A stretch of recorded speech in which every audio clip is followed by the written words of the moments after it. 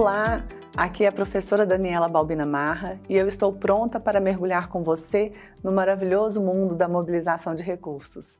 Hoje vamos desvendar o mistério dos recursos, aquele algo que completa o verbo captar, ou pequenos camaleões que mudam de forma dependendo como estamos mobilizando.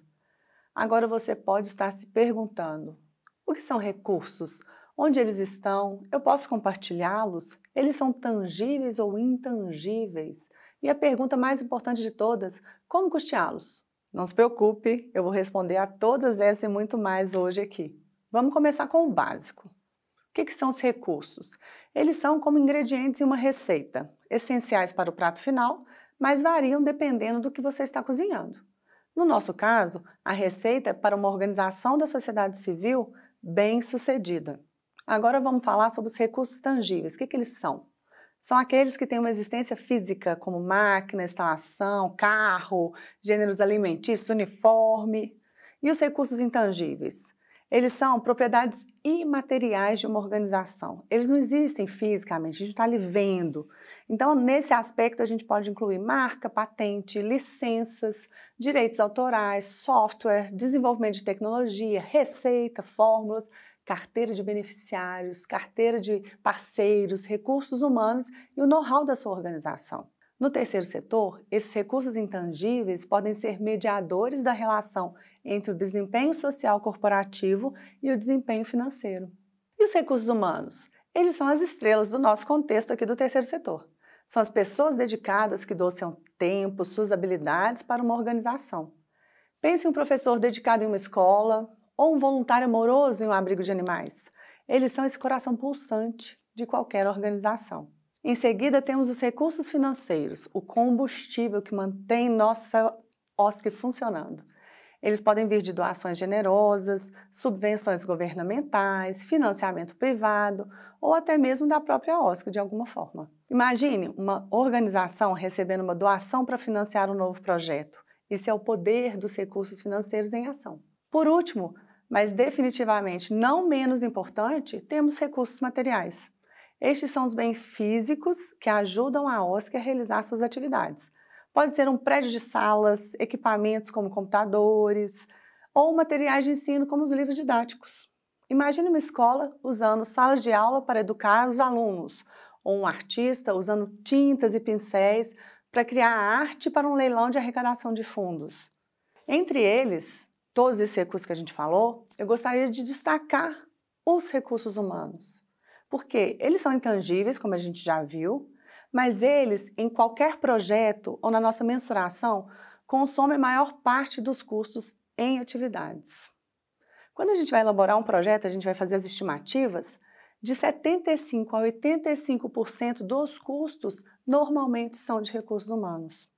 Então, além de mobilizar recursos financeiros para cobrir esses custos, também precisamos atrair voluntários interessados e trabalhar fortemente na sua gestão. Isso não só reduz os custos, mas também aumenta a nossa reputação na comunidade e entre os financiadores. É bem visto, sabe como? Os recursos humanos, então, são uma caixa de ferramentas cheia de habilidades e conhecimentos. Eles têm de tudo, desde as habilidades técnicas como contabilidade, gestão de projetos, e até conhecimentos específicos do setor ou da comunidade que está inserida na sua organização. Eles são a cola que mantém a OSC unida, que criam os nossos valores. Sabe aquela coisa da cultura? A cultura vem das pessoas. Mas o que exatamente eles fazem? Bem, eles fazem de tudo, desde a prestação de serviços diretos à comunidade, como a gente já falou, a mobilização de recurso e a administração da organização. Eles são geradores de energia, sempre prontos para entrar em ação quando necessário. Eles ajudam a construir e manter relacionamentos com a comunidade, agindo como a face amigável da organização. E não vamos esquecer da inovação e da adaptação. Os recursos humanos são como os exploradores da OSC, trazem novas ideias e perspectivas, ajudando a organização a se adaptar a mudanças no ambiente externo e garantindo que a OSC continue a atender às necessidades da sua comunidade de maneira eficaz. Agora, você deve estar pensando aí. Isso parece dar muito trabalho, Dani. Como é que a gente pode gerenciar tudo isso? É aí que entra a mensuração e a gestão eficaz dos recursos humanos. Ferramentas, gente. Isso pode envolver tudo, desde a contratação e treinamento de pessoal até a criação de uma cultura organizacional positiva e o reconhecimento desse trabalho duro, da dedicação dos funcionários e voluntários. Além disso, essa mensuração permite que saibamos o valor deste custo para que a gente realize bons projetos, aqueles projetos vão ser reais e vai ajudar muito na nossa estratégia daqui da mobilização. Mudando um pouquinho a marcha, vamos falar agora das atividades. As atividades, elas consomem recursos. As atividades, elas são como peças de um quebra-cabeça que se encaixam para formar a imagem completa da missão de uma OSC. Ela pode incluir a prestação de serviços diretos, a realização de pesquisas, a defesa das políticas públicas, a promoção de direitos, a preservação e proteção do meio ambiente, a gestão do negócio social, desde a compra do recurso, passando pela contabilidade e chegando na prestação de contas. As OSCs realizam uma variedade de atividades para cumprir suas missões. Algumas são essenciais, como a prestação de serviços diretos e captação de recursos. Outras são necessárias, como defesa de políticas públicas e gestão de pessoas. E algumas são importantes, como a pesquisa e o desenvolvimento, a contabilidade e a prestação de contas que a gente já falou. Cada OSC terá uma combinação única dessas atividades, dependendo da sua missão objetivos e do contexto que ela está inserida. Então, se você está envolvido com uma OSC, é importante entender quais atividades são essenciais, necessárias e importantes dentro da sua realidade.